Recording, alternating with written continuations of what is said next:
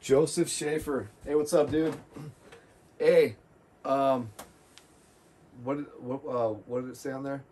Um, on your message when you sent me the message, um, yeah, I can't respond through through Cash App for some reason, so you're gonna have to to hit me up about that through my phone. So thank you, I appreciate that. That's super cool. You sent five bucks through through Cash App. Thank you very much, man. I I really appreciate it.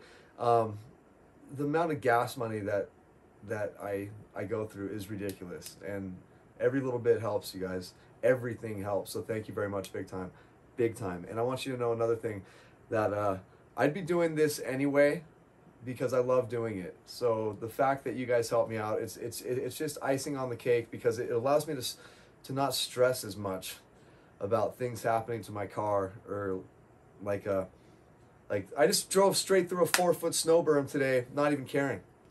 Straight. And it's a 2019 Subaru Crosstrek.